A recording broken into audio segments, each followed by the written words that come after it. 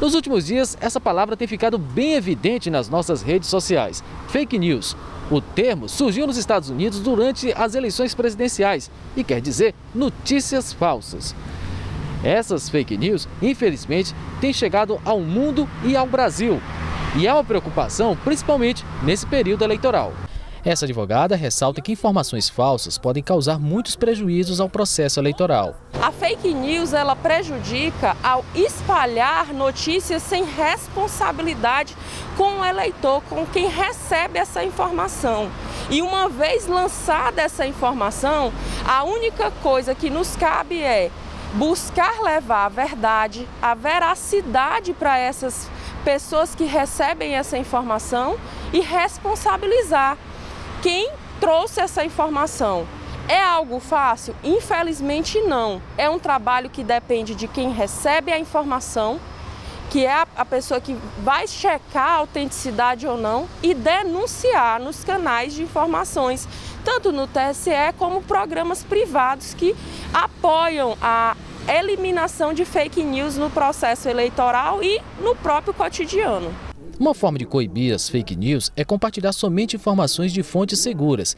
E em caso de dúvidas, já existem várias ferramentas online que podem ajudar na verificação.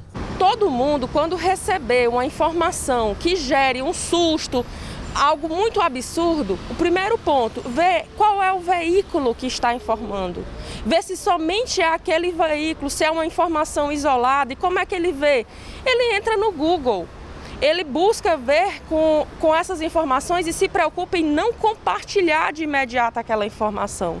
Porque é assim que acontece. As pessoas querem compartilhar no intuito de saber se é verdade ou não. Você busca essa informação na, na própria internet e checa a fonte. Temos páginas de checagem, o próprio TSE trabalha com isso também. Temos os fatos e os boatos que é um aplicativo que você pode ter acesso para checar a validade daquela informação que você recebeu. O Tribunal Superior Eleitoral anunciou a formação de uma parceria com agências de checagem de informações que vão trabalhar na identificação de notícias falsas.